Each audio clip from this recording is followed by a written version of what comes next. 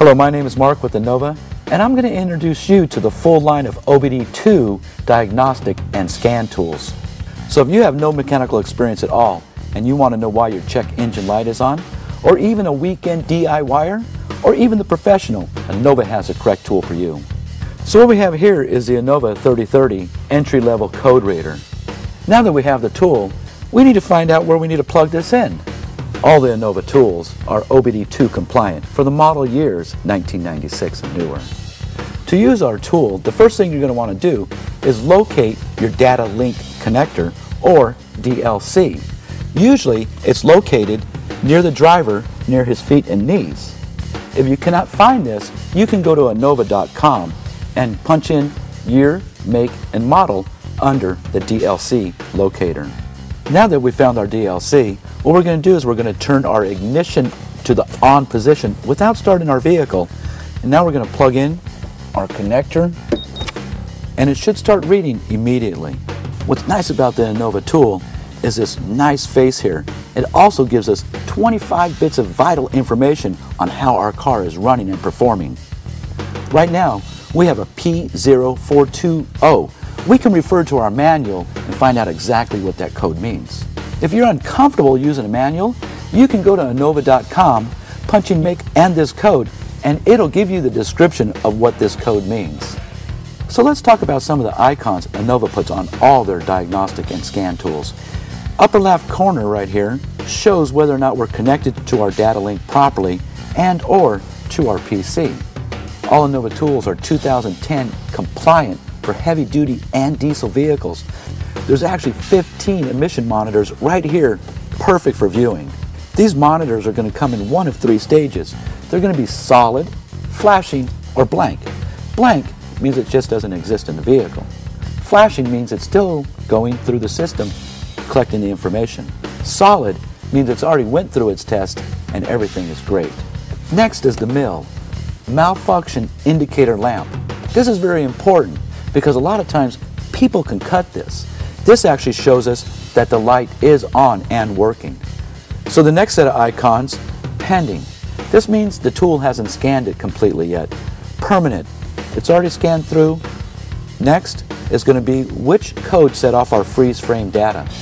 Our next set of icons shows us how many codes were set and the sequence in which they were set. This is a great feature on all the Innova tools. What we have here is an emission status, green, yellow, and red. 30 states are OBD2 base standard for their emission testing. Green means you're good. Everything on your emission test is going to be fine. Yellow means you may have a problem and you may not pass your emissions. Red, this definitely means that you're not going to pass your emissions test. This is a patented feature. You're not going to find this on any other tool. It comes on the Innova tools at absolutely no extra charge. So let's go ahead and talk about the next model, which is the Innova 3040 scan tool. It actually has a larger face, and it comes with freeze frame data, live data, and it also has the definition of the codes so you don't have to look them up in your manual or internet. With all diagnostic tools, it gives us a starting point of what to check for. So what we have here is a code P0420, and it's generic, meaning this could be the same on a lot of different vehicles. And what the code says is catalyst system efficiency below threshold bank 1. That's where we need to look at. Now that tells me from my experience that this could be an intake leak, exhaust leak, it could even be an O2 sensor, or maybe even a costly repair like a catalytic converter. So what I'm going to do is I'm going to go to freeze frame. When this code appeared, it's going to give me a picture of what was going on at that particular moment. What we can do is we can scroll our freeze frame and look for something that's out of place. Well, here's one that tells me that we were actually going at an RPM of 1822. So this means the vehicle wasn't actually idling. We were actually driving. Now that we looked at our freeze frame data, let's go ahead and look at our live data.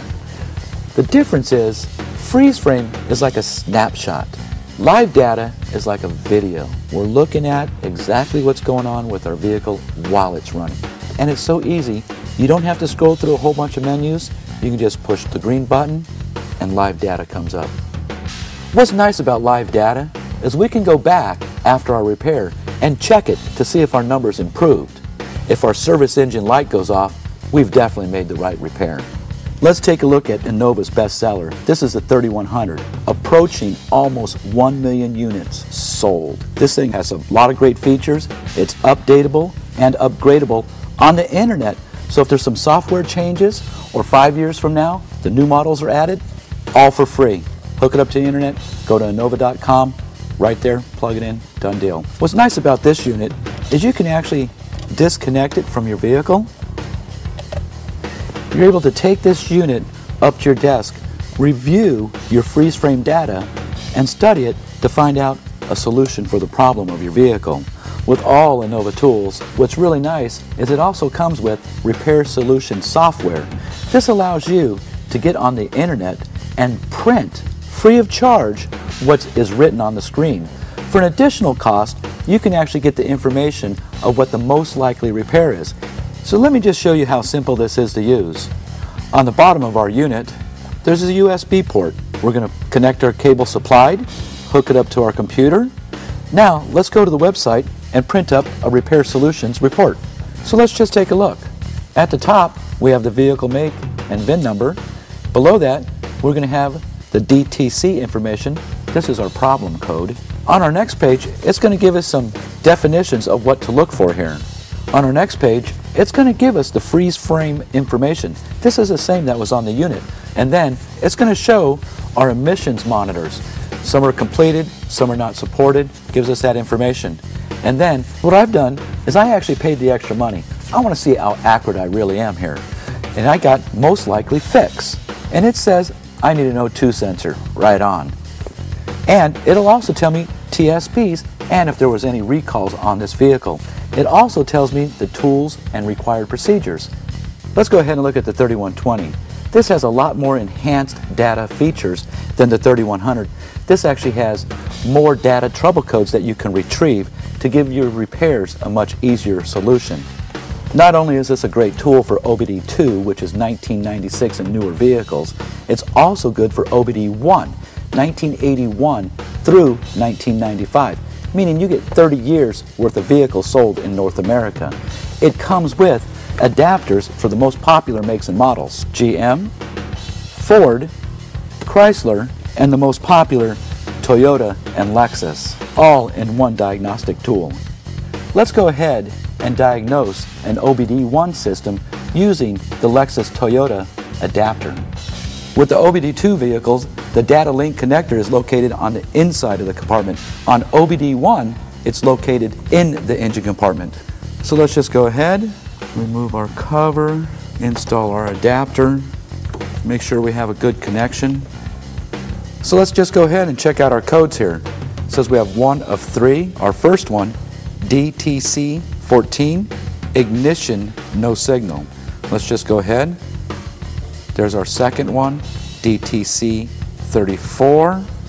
It says turbocharger, wastegate pressure too high. Let's see what our third one is. Fuel pump control signal. Well, obviously, it looks like we have something to do with the fuel and turbocharger on this system. So that's where we're going to start our repairs. So there you have it. No magic involved. It pulls codes for OBD2 and OBD1 vehicles. Let's go ahead and look at the 3130. This has live data streaming and modes 1 through 9. And if you're a professional, you know exactly what I'm talking about. This saves you time and money. The Innova Professional Series from 3120 up also provides you with PC software that can track your customer's vehicle maintenance records. It also allows you to put your own name on there and your customer's name. And you can give them a copy to see exactly what's going on with their vehicle and track through the years what maintenance has been done on that particular vehicle. Now we just talked about the 3120 with OBD1 and OBD2 and the enhanced features of the 3130. If you want to combine those two features into one unit, the 3140 is for you.